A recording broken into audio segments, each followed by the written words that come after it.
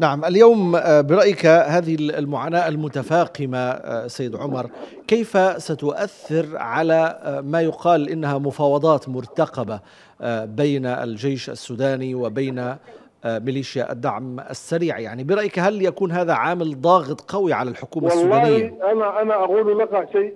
يعني حتى رئيس الدولة عبد الفتاح البرهان إذا أراد أن يعني يميل إلى إلى إلى إلى المفاوضات فإن الشعب السوداني لن يرضى. لأن الشعب السوداني يعني ذاق الأمرين من هذه الميليشيا وهي متمددة. فكيف يمكن أن يعني كيف يمكن أن أن أن أن, أن يرضى لها أن تحكمه بعد بعد بعد ذلك؟ يعني هذا هذا أمر يعني نحن كسودانيين لن نرضاه والشارع السوداني لن يرضاه. وحتى يعني المجتمعات القريبة مننا إذا إذا تم سؤالهم فلن يرضوا ان أن يحكم السودان الدولة الدولة العريقه الدولة ذات السيادة. بأوباش تم تجميعهم من ثمانية دول حتى يأتوا وينهبوا هؤلاء الناس نهبوا كل شيء. وكما قال أحد الزملاء الصحفيين إنهم ينهبون حتى شاحن الموبايل.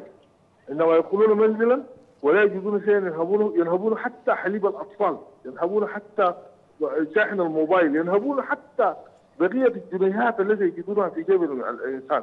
فما بالك اذا اذا إذا تم تم التفاوض معهم؟ فسوف يكون نهبا يعني نهبا نهبا بالطريقة القانونية يعني. فأنا أعتقد إنه كل مسارات التفاوض تنصب في مكان واحد فقط لا بديل لجدة إلا جدة. جده لأنها نصت على أن يخرجوا من الأعيان المدنية من منازل المواطنين. هم لا يريدون أن يخرجوا من أعيان من الأعيان المدنية من المواطنين. فكيف يمكن ان ان ان, أن نعملهم؟ وهم موجودين في منازلنا. أنا الآن شقتي يعني هي ليست شقة إنما عمارة كنت أسكن فيها وأنا وعدد من الأسر. هذه العمارة الآن يسكنون بها ونهبوا سيارتي. اذا كيف أرضى لهم أن يتفاوضوا وان يبقوا في منزلي ويبقوا يبقوا عندهم سيارتي؟ فليعيدوا إلي سيارتي وشقتي ويعيدوا إلي الأمن ووظيفتي مكتبي الذي خرجت منه يوم 14 يوم 13 إبريل يوم الخميس لم أدخله حتى الآن. مكاتباتي بقية أوراقي بقية مستنداتي التي في المكتب لم أرها حتى الآن. وكذلك عندما أخرجت من منزلي تركت منزلي والله الذي لا إله إلا هو تركت حليب اطفالي داخل الثلاجة. لا حول ولا قوة إلا أنا إذا لم أعد إلى هذا الحال ولا يستطيع أحد أن يعيده لي فلن أرضى ابدا أن يكون هناك تفاوض حتى ولو أدى أنا الآن مشرد. اذا الموت أيسر عندي من أن أعيش مشردا بهذه الطريقة داخل وطني وهنالك أوباش.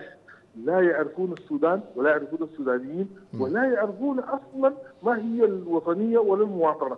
ولا يعرف وهم أصلا لا يعرفون السودان. يعني هم يقولون أن لقد تم تجميعنا من مالي ومن النيجر ومن نيجيريا ومن تشاد نعم. حتى نذهب إلى إلى عاصمة نعم. في في في في, في السعودية. نعم سيد عمر الكردفاني الحقيقة. في السعوديه نعم.